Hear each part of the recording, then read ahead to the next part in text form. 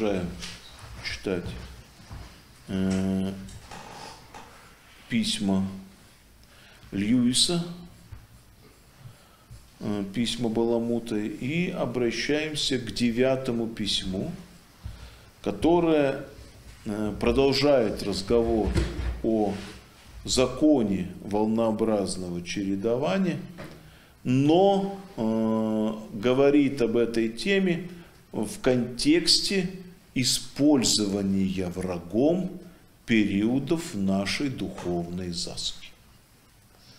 Поскольку вы не забываете, да, что это не просто аскетический трактат, а это трактат, написанный э, с точки зрения искушающих нас злых духов, вот, то, естественно, для них продолжит разговор о том, как можно использовать периоды духовного спада, каким образом можно человека искусить. Э, а для нас это как раз э, разговор о том, какие искушения бывают с нами, когда мы переживаем период духовного спада. Конечно, в прошлый раз мы говорили о том, что вот как здорово, да, мы остались верными Богу, но это у святых так, не у нас. Вот. Мы-то как раз делаем совсем иначе. Мы-то э, ведемся на искушение э, лукавых духов, и поэтому э, ищем способы, как э, и что сделать, когда нам невыносимо с Богом тяжело. Вот. Понятно любому человеку, даже без опыта это понятно, а с опытом так и подавно понятно, что когда у человека период духовного спада, то он чрезвычайно уязвим. Он подавлен, он раздавлен. Самое главное, что ему, любому человеку, необходимо получение чего? А?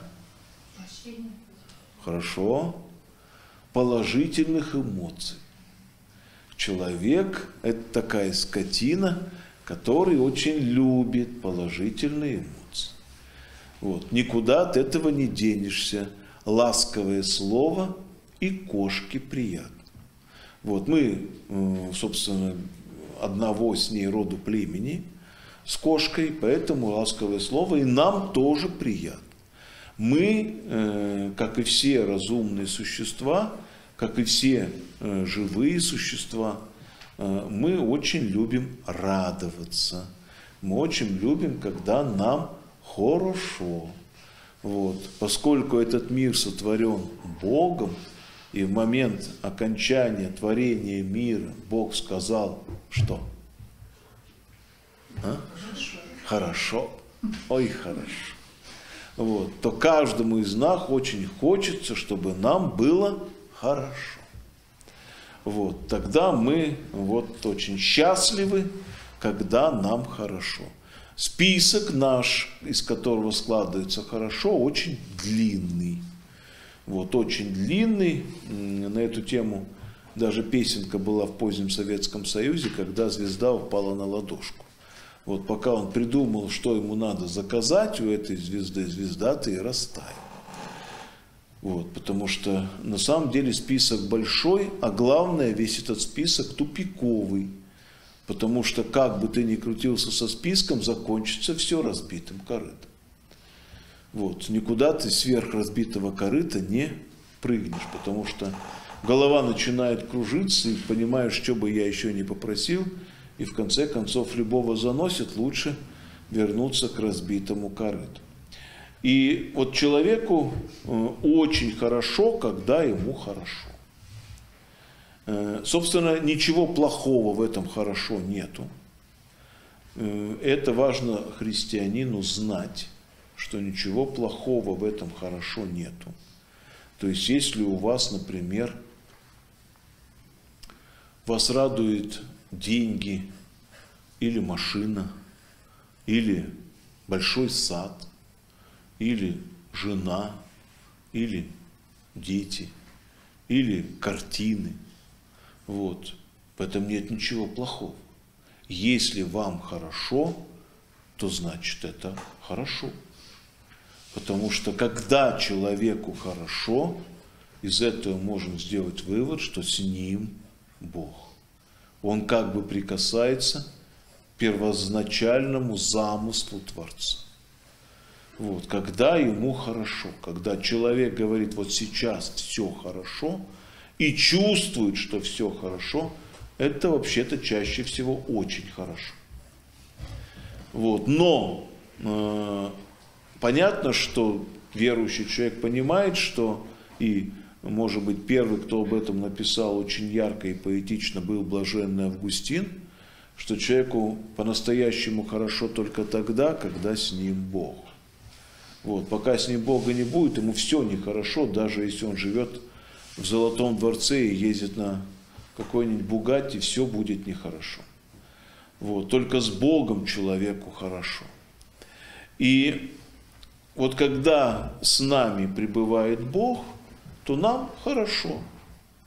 Неважно, что у нас красная икра на сегодня или черная, э, черный хлеб э, или белый – Неважно, у нас сегодня доширак или Ролтон, вот, совершенно без разницы. Когда человеку по-настоящему хорошо, он не обращает внимания на такие неважные мелочи. Он, ему хорошо.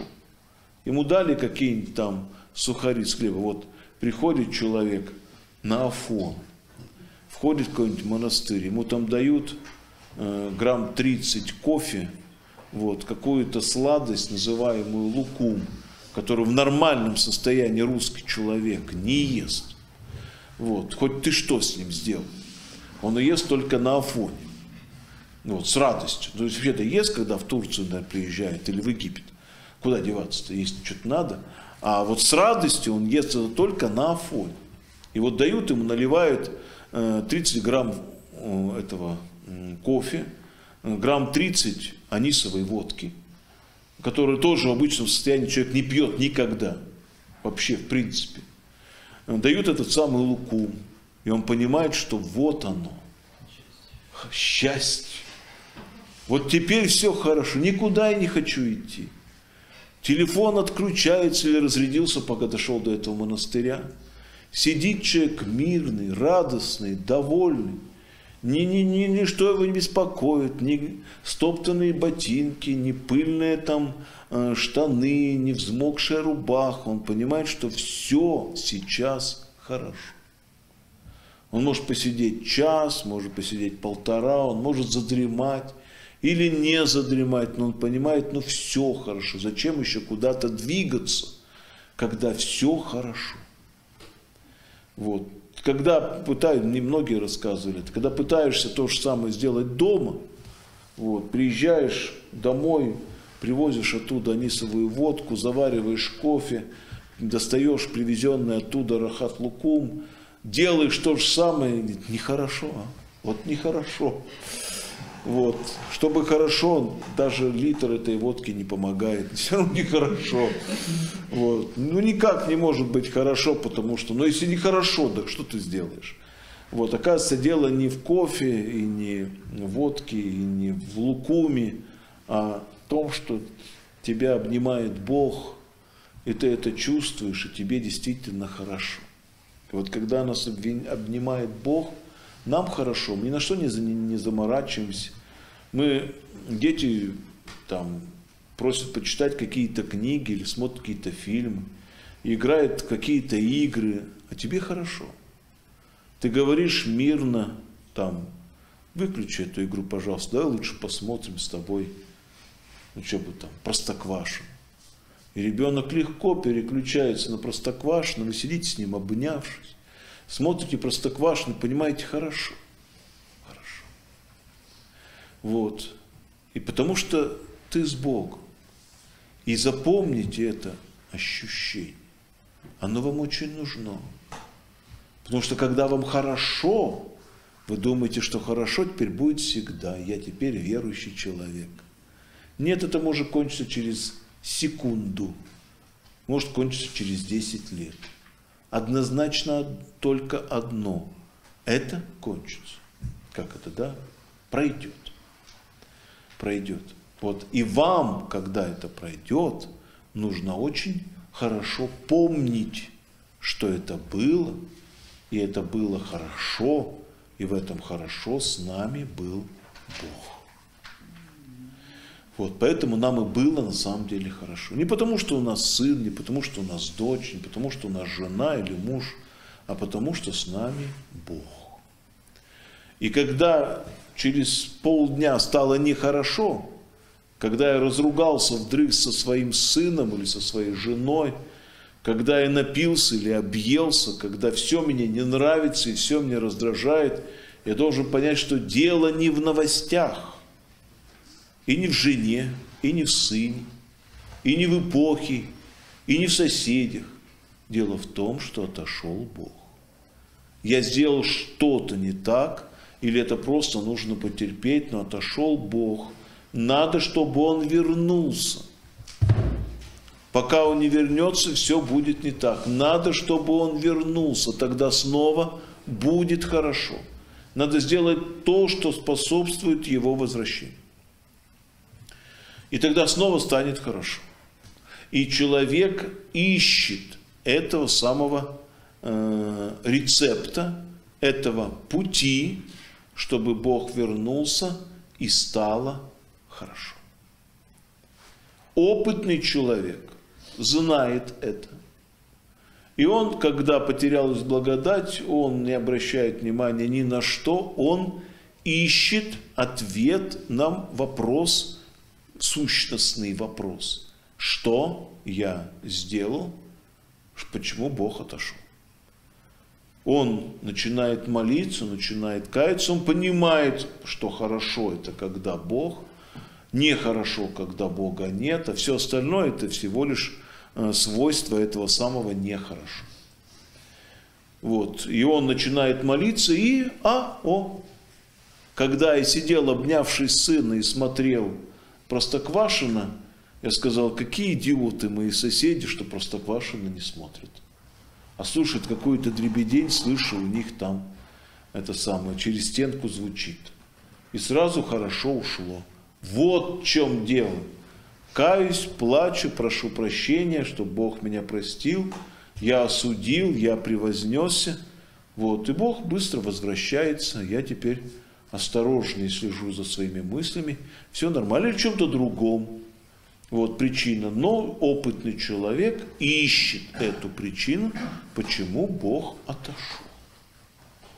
Все обыскал, все причины, копнул до третьего дня, ничего такого он не сказал. А, значит, Бог отошел, потому что так надо. Я должен потерпеть. И человек начинает терпеть, понимая, что пришло время, вот то самое, что в конце восьмой, восьмого письма говорил Льюис. Надо пожить с Богом не только тогда, когда радостно и приятно, но и тогда, когда не радостно и неприятно. Вот. Но в любом случае это все опыт, а письма написано по отношению к человеку неопытному. Он позавчера уверовал. Это мы с вами письма читаем полгода. А вообще-то по э, режиму книги он позавчера уверовал. Ну, не позавчера, три дня назад. Вот, уверовал. Он еще, понятно, совершенно человек неопытный. А неопытный человек, он не знает ничего подобных всех вещей. И поэтому, когда ему делается плохо, он начинает сначала вот искать там, там где хорошо он начинает по-прежнему делать вещи, которые раньше приносили ему радость. Вот мне хорошо было в храме, пойду в храм, прихожу, нет, не радостно. Иконы не цветут, хор поет ужасно, запахи отвратительные. Какая-то бабка с метлой бегает на перевес, всех гоняет. Пол грязный, кругом пролито масло, какая-то вонь, копоть. Вот, этот паникодила сломанная посреди храма лежит. Вот, э, все, все как-то, ну, ненормально, в общем, не радует. Ну, ладно, думаю, пойду к брату. Всегда с ним так хорошо сидели, о Боге разговаривали. Прихожу, Вот, смотрю, нет, какой-то он не такой, весь восторженный, эмоционально возбужденный, только о Христе говорит, я ему говорю, давай что-нибудь другом поговорим, так о чем говорить, только, а короче, неинтересно с ним, все постное, надоело уже это постное, включил валамские напевы какие-то, говорит, эта музыка какая-то прям необыкновенная, как будто с ангелами, обыкновенные мужики, мычат что-то себе под нос, вот, не, не вставляют никак вообще. Короче, посидел, посидел скучно, тоскливо, однообразно, ушел. Вот, ну ладно, думаю, пойду, очень, очень хороший акафис есть, хороший прям, чудесный, слава Богу за все. Всегда помогал, всегда, вот всегда беру акафис, как дурак. Слава Богу, слава Богу, залаяла. Ну что это такое? Да что слава Богу-то? Плохо мне, какое слава Богу? -то? Ничего, не дочитал, бросил. И это не помогает. Вот, то есть я предварительно попробовал все то, что мне приносило радость с Богом.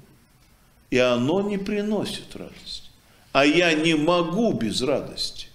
Я еще не привыкший, я еще Льюиса не прочитал. Я еще Силуана Афонского «Продержи ум своего Ади» не прочитал. Это еще когда прочитаю? Я еще э, житие святого Антония, написанное Афанасием Великим, не прочитал. Я Серафима Саровского не, не, знать не знаю, кто такой. Вот, вообще ничего, то постную триоть в глаза не видывал никогда. Вообще по-церковно-славянски не разумею ни бельмес вообще никак. Вот, и я неопытный. С опытным такие номера не пройдут. А неопытный, что делать? Ничего не вызывает радости. Без радости я не могу. И я привык радоваться. Я как кошка. Ну ладно, звоню духовнику. Говорю, батюшка, скажите что-нибудь доброе. Ты молитву Ефрема Сирина сегодня читал? Нет. Вот а прочитал бы, таких вопросов глупых не задавал. Там все доброе тебе есть. Понял, батюшка? Думал, хоть утешит, похвалит как-то. Не дождешься от него. Молитву все с поклонами и поклоны. Если я стану, я обратно уже на поклон, то я уже не поднимусь с них. Вот так и буду там лежать и мучать. Что делать-то? Вот. Никакой радости. Небо молчит пост, хоть бы телевизор включил, какой-нибудь боевичок посмотрел бы. Нет, пост нельзя. Что делать, да? Ну что делать? Вот душа разрывается. И тут вот этот вот на рисуемый на копытах, на самом деле, конечно, без копыт, вот, но рисуемый на копытах, он-то как раз тут ты подлезает. Говорит, а ты это самое, вот, сделай что-нибудь. Вот, ну иди мясо, шашлыки приготовь, вина выпей. Вот, ну что унывать это грех, нельзя унывать. Иди и выпей вина. А что бы не выпить? Пойду и выпью. Не пробуйте. Это как в рекламе, да? Не советую повторять. Вот, это советы не мои, это советы этого Рогатого, как его там поисто называл, Тан -тан Тангалашки, вот. Вот, это не слушайте, потому что радости не прибавит, хорошо не будет. Если бы вы, допустим, допустим, такое бывает, потому что не случайно, скажем, даже монахам великим постом предписываются дни, когда они должны выпить вина. Вот. Но именно тогда, когда предписывается, а не тогда, когда им в голову взбрело. То есть в самом-то вине нет ничего плохого. Но когда оно действительно от Бога, тогда ты выпил и хорошо. А вы не от Бога, вы думаете, а выпью, потому что вам сказал не Бог, иди и выпей вина. А сказал рогатый, иди и выпей. Вы выпили, думают, ну стакан, небольшой вина сухого. Получилось три когора. Вот. Радости ноль. Тоска еще больше. Никаким образом вы не утешились. Вы сидите и понимаете, что стало еще хуже, а с утра еще и на работу. Понимаете? А молиться уже не могу, да и не хочу. Такие мысли лезут в голову. Вообще даже страшно озвучивать перед камерой. Не буду никого смущать. А такие страшные мысли, такие соблазны, плохо стало. Если бы стало хорошо, значит это было сделано по воле Божией хорошо. А если после этого стало еще хуже, значит Бога там нету. Но думаешь, так это потому, что мало. Мало. Я завтра куплю лучше, как гор, и выпью больше его. И станет хорошо. И лучше куплю коньяк. Ну и вот, как гордо стал он меня, церковное вино. Лучше куплю, и лучше водки. И не анисовой, а совсем другой какой-нибудь. А хорошо не станет а я гонюсь, я хочу поймать вот это, ну, ну когда-то же должно стать хорошо. Я ж помню, в компании с друзьями сидел, стопку выпьешь, другую, и хорошо. Тут уже пятую пью, и нехорошо. Ключевое это что? А там была компания. Там было с Богом все. И по воле Божьей. Там был пир. Там была радость. Там был повод, и там были друзья. А здесь ты один, пьешь в самом прямом смысле слова горькую. Никакой радости у тебя не будет. Тут в этом письме Льюиса подчеркивает, мы об этом чуть позже поговорим, что э, лукавый именно это и советует.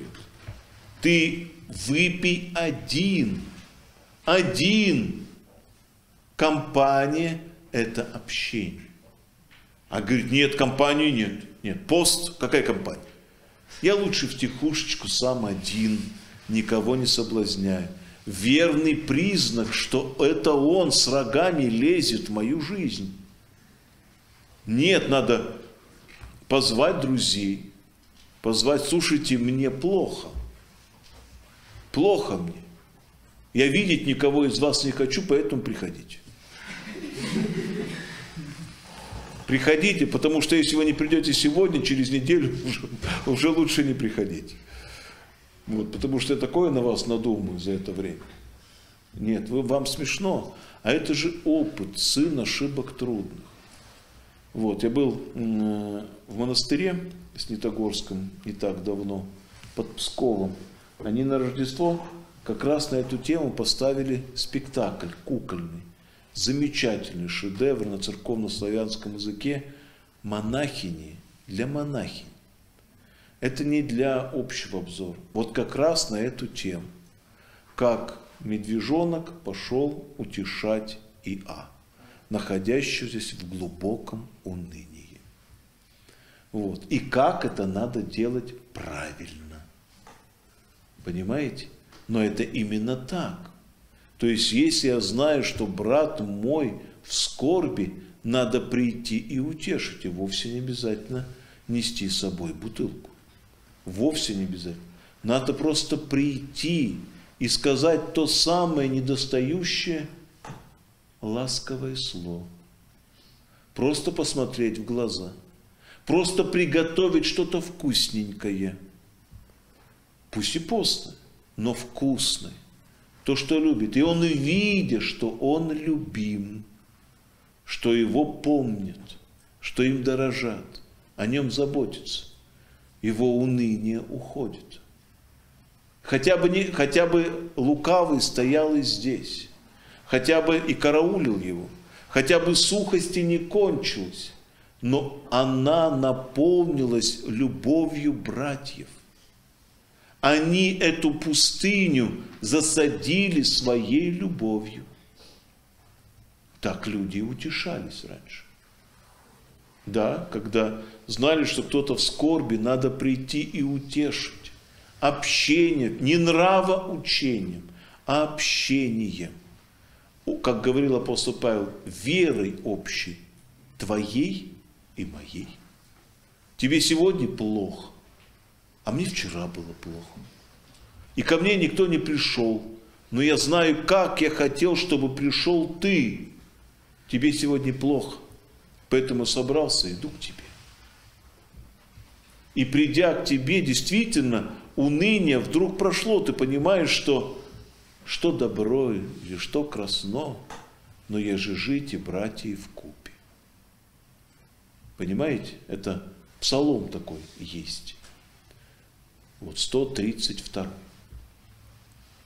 О том, что хорошо, когда братья живут вместе. Это как благодать Святого Духа, сходящая, рошающая все. И хорошо, когда есть друг, который к вам придет, когда вам плохо, который придет и обнимет, и просто будет сидеть не упрекать, не учить, не пинать на молитву, давай вместе прочитаем молитву Ефрема Сирина, а просто обнимет тебя по-человечески, споет тебе что-нибудь задушевное, или расскажет, или накормит, или просто обни, пойдем погуляем. Слушай, мы с тобой уже не гуляли две тысячи раз лет.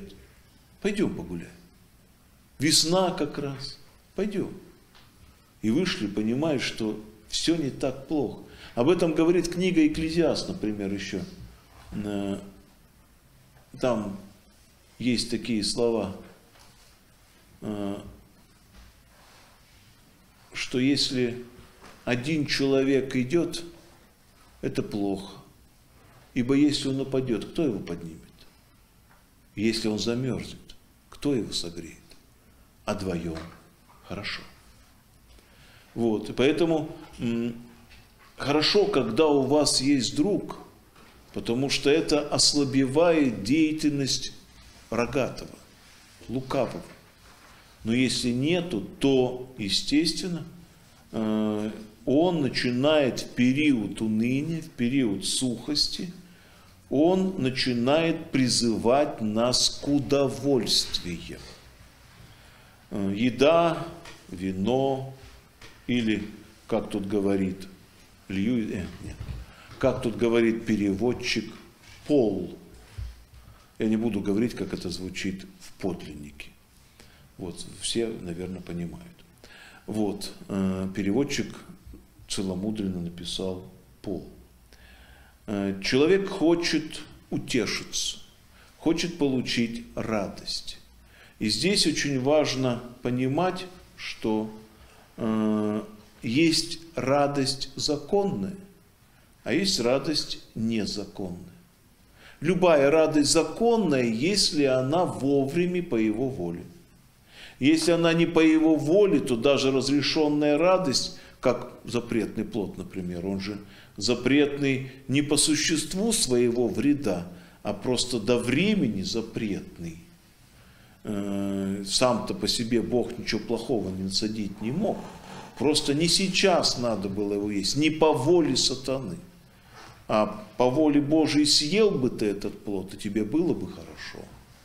Вот, и э, враг начинает нам предлагать вещи, в общем-то, хорошие. И еда, и вино, и утешение, э, связанные с полом, они хороши сами по себе. Но только тогда, когда человек вкушает их по воле Божьей, а не по воле лукавого врага. И э, человек как бы пытается украсть, добиться радости за счет употребления естественных радостных вещей. Ну, скажем, еды. Что плохого в мясе, например? Ну, что плохого? Ничего. Можно же ее есть, скажем, в пасхальную седмицу? Можно. Или яйцо? Можно. Она хороша. Но он предлагает, чтобы я это вкусил по своей воле, по своей прихоти, по своей похоти. Сделай сам, вкуси, съешь. Не жди, когда тебе дадут. Не жди, когда Бог над тобой жалится. Сейчас вкушай. Сейчас ешь, не жди. И человек, поскольку ему плохо, он начинает вкушать то, что предлагает ему враг. Но поскольку он вкушает это по воле лукавого духа, радости это не приносит. Хорошо не делается. Он-то думал, сейчас выпью и будет хорошо. Не будет. Сейчас съем мясо и будет хорошо. Не будет. Сейчас там утешусь с женой и будет хорошо. Не будет. Потому что ты сделал это по своей воле, а не по благословению Божьему. Вот такие вещи. И э, лукавство врага именно в том, что он легко может манипулировать нашим сознанием, говоря, что ничего плохого в том, что я тебе предлагаю, нет. Съешь, выпей, вкуси это. Но по моей вражьей воле. И когда мы, вкусив, понимаем, что мы хорошо не получили, мы должны быть мудрыми, а, хотя сколько лет пойдет, пока мы помудреем, мудрыми, чтобы понять, если хорошо не стало, значит я послушался врага, и так больше делать нельзя.